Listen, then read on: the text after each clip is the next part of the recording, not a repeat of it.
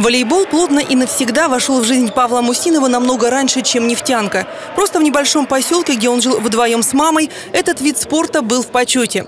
В округе волейболом занимались все, и взрослые, и дети. Так и получилось, что уже с первого класса Павел пришел в секцию волейбола.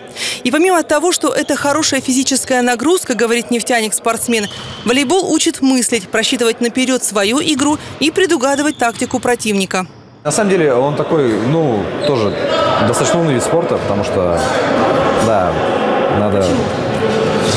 Ну, потому что порой у тебя, ну, есть перевес в силах соперника, и ты должен что-то сделать с этим. В старших классах Павел стал капитаном школьной команды в своей возрастной группе. Дальше уже вместе со сборной по волейболу Томского университета становился чемпионом спартакиады среди вузов и последние три года вносит весомый вклад в копилку побед волейбольной команды «Газпромнефть» Ноябрьск нефтегаза. Год назад ноябрьские волейболисты-нефтяники победили в спартакиаде среди команд блока разведки и добычи компании «Газпромнефть», а Павел стал лучшим спортсменом соревнований. В этом году наша команда стала серебряным призером, а Павел назван лучшим блокирующим. Конечно, говорит он, добиться успеха в командном виде спорта можно только сообща с теми, кто рядом. В любой отрасли тебе нужна команда.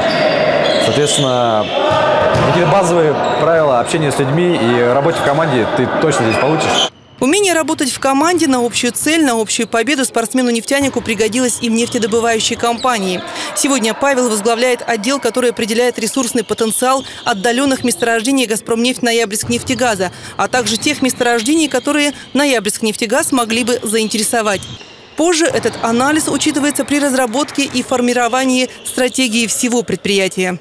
Ну, это, в принципе, везде у тебя должна быть база хорошая, то есть, в принципе, для каких-то там свершений. А база есть, благодаря чему она есть? Благодаря тому, что я с первого класса меня отдали в секцию волейбола в моем родном поселке. Потом я продолжил это, протянул через всю школу, через весь универ. И, ну, собственно, пришел и здесь еще и играю. К слову, волейбольная команда «Ноябрьск нефтегаза» полностью состоит из тех людей, которые работают на предприятии – Никаких профессиональных спортсменов здесь нет.